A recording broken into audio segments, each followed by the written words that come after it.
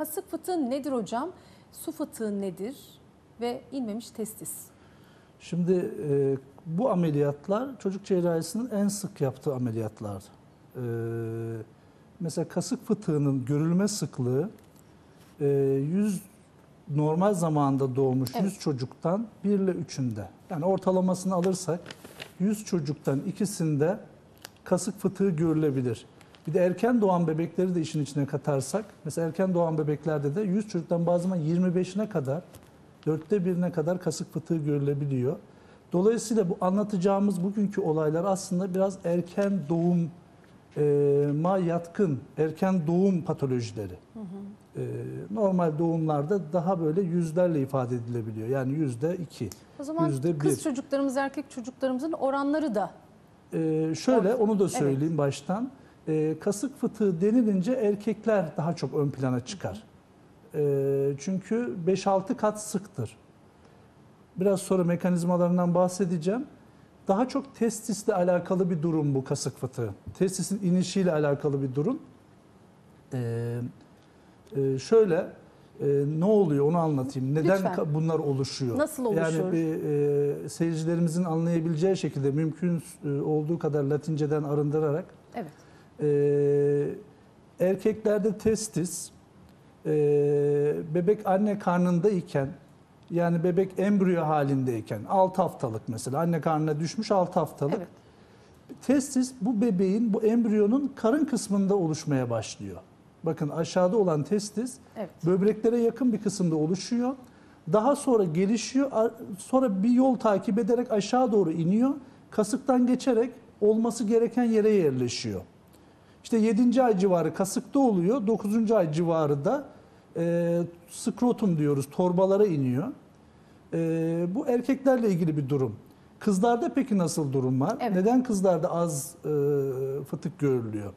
Kızlarda da e, yumurtası kızın, yumurtalık o da karın içinde zaten. O karını terk etmiyor. Orada e, gelişmeye ve oluşmaya devam ediyor.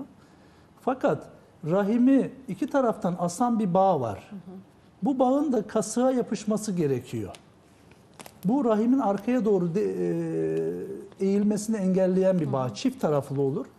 Bu bağ da aynı erkeklerdeki testisin yolunu takip ediyor. Kendini kasığın dışına atıyor ve oradaki bir kısma yapışıyor. Bunlar e, karın içinden gelen e, bakın organlar. Yani gelişimde karın içinden geliyorlar. Bu sırada karın zarı dediğimiz periton var. Karının e, organların hemen üstünü kaplar periton. E, eldiven parmağı gibi düşünürsek eldiveni düşünün parmağı düşünün arkasından.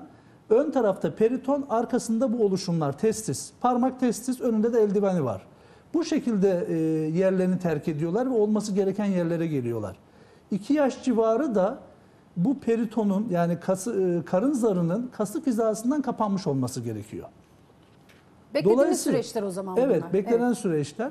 İşte erken doğan bebekler dedik ya. Erken doğan bebeklerde e, sonuçta 7 aydan 6 aydan küçük oluyor bu bebekler çoğunlukla. E, bu bebekler işte 7. ayda kasıkta oluyor dedik bu pat Evet. şeyler mesela. Tesis kasığa geliyor. Ancak kasığa geliyor orada doğuyor çocuk. Öyle olunca bu çocuklarda bu e, yapının kasıkla karnı ayıran yapının kapanması e, olasılığı, kapanma olasılığı düşük oluyor. Dolayısıyla kasık fıtığına eğilim, inmemiş testise eğilim, su fıtığına eğilim oluyor. Oranları, yüzdeleri var mıdır bunların? Yani şöyle tabii yani işte normal bizde oranlar şöyle. Normal doğ- doğan çocukları bir ayrı ka- kategori yaparız. Bir de erken doğan bebekleri ayrı kategori yaparız. Normal zamanda doğan bebeklerde yüzde 1 ile 3 arası kasık fıtığı görülür. Evet. İnmemiş testis oranı da hemen hemen aynıdır. Yani 100 bebekten ikisinde diyelim biz. 100 bebekten ikisinde kasık fıtığı olur, 100 bebekten ikisinde e, inmemiş tesis olur diyebiliriz. E, şimdi e, bu yapı kapanmazsa dediğim bu kasıktan aşağı bu organları aşağı indiren yapı kapanmazsa Evet. ve içine mesela kızlarda yumurtalık ve bağırsak girebilir. Ee, erkeklerde de bağırsak, işte omentum dediğimiz karnın üzerini kaplayan yağlı tabaka girebilir. Bunlar girdiği zaman buna biz kasık fıtığı diyoruz. Yani içine bir organ giriyorsa ve bir şişlik belirip kayboluyorsa bu kasık fıtığı.